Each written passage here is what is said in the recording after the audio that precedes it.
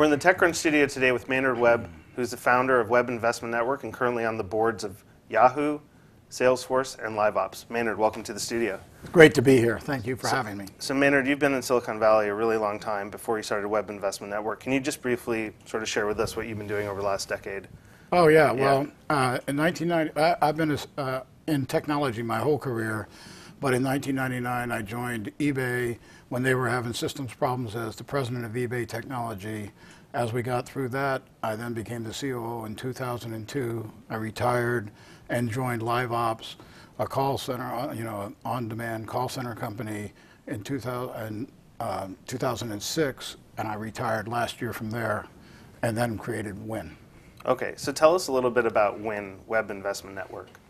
I love I love the concept that we came up with, and the reason we did this was I was no longer ready to be an operating exec anymore because of commitments that I had made with my family, and so I had to figure out what I was going to do with all the energy and time that I was going to have, and I decided that I fell you know what I fell in love with most were these young entrepreneurs that were waking up every morning trying to change the world and have a big impact, and that's what I wanted to spend my time on. I had been angel investing for about 15 years and had successes in Niku and AdMob, et cetera. But um, I didn't think just me doing it was enough, and I thought I'd be missing something for um, what I used to have in my operating roles, which is connections with a bunch of people that I had a great deal of respect for. And so we thought we'd create a model that was great for entrepreneurs and give them help, but only when they wanted it, you know, kind of on demand help that we didn't really want to take board seats. We only wanted to actually yeah. be of assistance. So t- tell us a little bit, like what diff, you know, what is to an entrepreneur out there? What is, you know, Win? What is Webb Investment Network? And what are the key differentiating points, or how you've set it up? Sure. Well, probably the biggest differentiator is I now have. I thought we would struggle to get to 40 or 50 people that wanted to invest by my side and agree to help companies.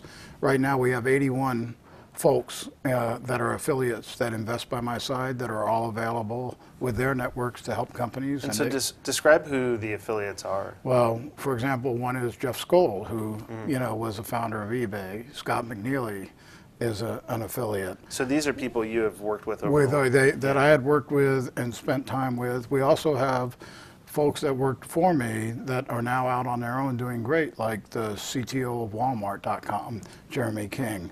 So I'm very pleased with the kind of network we've built, and all of them want to help. And so I think the differentiator for us is that when we invest in a company, we, you know, uh, first of all, extraordinarily easy to do business with, but we come with a lot of experience and help that is available to be tapped. And even if somebody doesn't invest in a company, they're still expected, if we've invested, to help.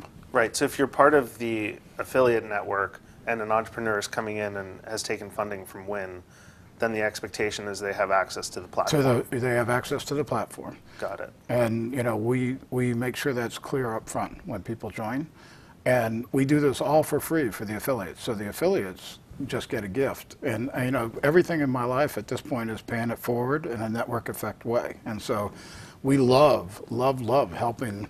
Uh, the young entrepreneurs start their companies, and then it's a great amount of fun to give little gifts when deals come in to your friends. You know? Right.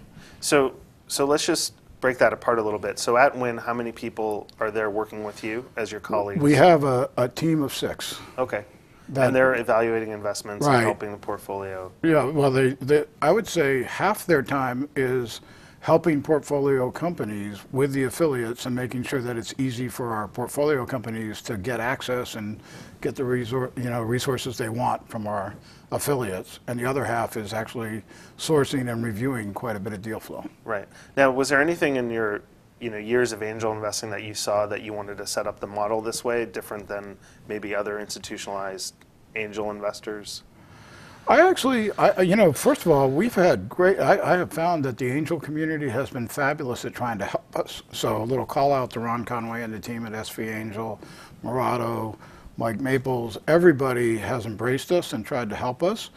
Um, the biggest thing for me was I needed, I built this so that I would have the level of engagement and intellectual stimulation that I wanted.